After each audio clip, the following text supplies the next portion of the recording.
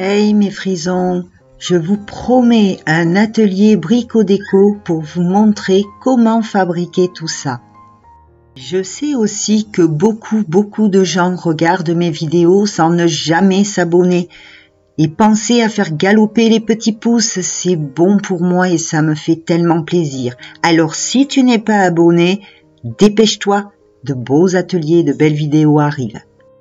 Bisous bisous mes frisons et à bientôt